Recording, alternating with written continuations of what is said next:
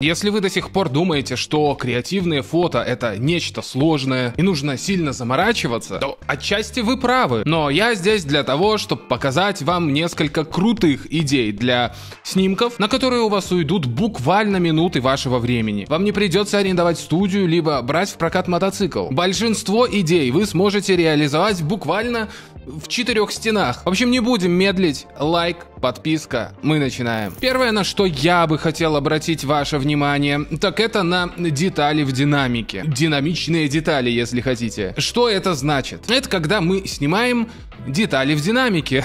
Ладно, шутки в сторону. Поставьте модель с кухонным ножом, к примеру, заранее разрезав лимон, либо апельсин, либо яблоко, да что угодно на две половины. И в моменте съемки бросьте две половины этого овоща либо фрукта друг к другу к ножу. Я думаю, никто не будет спорить, что впечатление э, складывается неплохое. Детали в движении. И должен отметить, динамичные снимки всегда выглядят выигрышно, ибо всегда есть э, за что зацепиться глазу. Еще из референсов мне пригляделась идея на Пинтересте, и к моему сожалению у меня нет душевой кабины, чтоб ее повторить, но выглядит все весьма интересно, потому расскажу. Ставим модель за стеклянную перегородку этой самой душевой кабины. Мочим стекло пульверизатором и в районе глаз модели пускаем буквально буквально одну каплю, так, чтобы казалось, будто бы это слеза стекает. И несмотря на то, что модель с должной светосилой в объективе будет размыта, сюжет фотографии таки присутствовать будет. И да, если вы, как и я, не счастливый обладатель душевой, ну не судьба. Но есть идеи и поинтереснее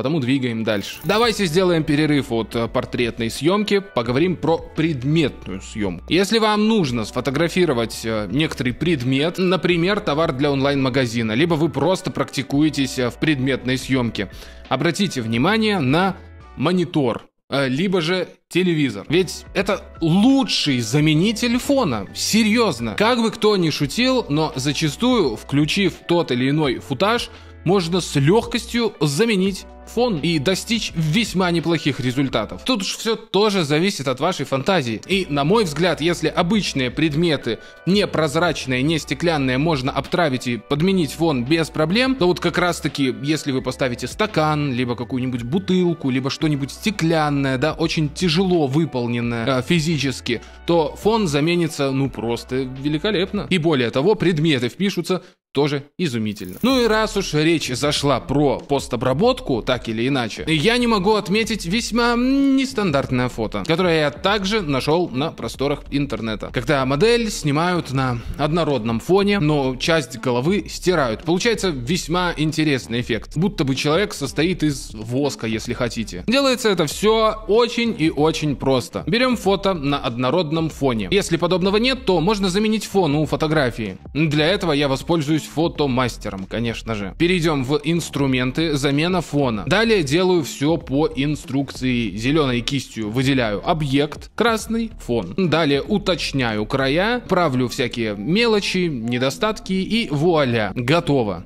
Теперь же беру штамп и легким движением кисти рисую своего рода потеки. И да, художник из меня так себе, но на мой взгляд получилось неплохо. Еще немного потренироваться и вовсе будет сложно отличить от оригинала. И, к слову, фотомастер может не только фон заменить, да часть головы стереть. Конечно же нет. Здесь вам и готовые пресеты, и творческие фильтры, и базовая обработка, интеграция искусственного интеллекта тоже есть. Ну а если вдруг по каким-то причинам вам не хватит хватит стандартного функционала, да, из коробки, вы сможете с легкостью расширить его, ведь внутри данного ПО есть э, свой магазин расширений. Там есть дополнительные возможности по восстановлению старых снимков, либо возможность сделать из вашего фото календарь. Ну и из плюсов можно отметить, что это крайне простой софт, который при установке не захламляет компьютер, а интерфейс полностью на русском языке. В общем, переходите по ссылке в описании и устанавливайте фотомастер. А после тестового периода в 5 дней у вас вас появится возможность приобрести полную версию со скидкой целых 60%. В общем, прыгайте по ссылке в описании, ознакомливайтесь, а мы идем дальше. И теперь немного поговорим о натурной съемке. Все-таки потому как четырьмя стенами ограничиваться не хочется. Нужно же иногда из дома выходить, правильно? Если вы хотите достичь э, креативных снимков без должных затрат и усилий, можете взять